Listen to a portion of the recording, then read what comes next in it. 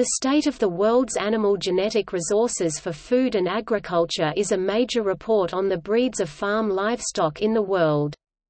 It was published by the Food and Agriculture Organization of the United Nations FAO in 2007.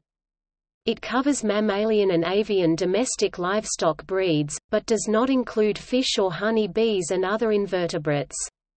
It is based on information submitted to the FAO, in the form of reports of participating countries, thematic studies prepared by experts and data on individual breeds submitted to DAD-IS an annex to the report, the list of breeds documented in the Global Databank for Animal Genetic Resources, gives an estimate of conservation status for all breeds for which sufficient data had been received. The report has been translated into Arabic, Chinese, French, Indonesian, Russian and Spanish. In 2015 a second edition of the report, the second report on the state of the world's animal genetic resources, was published.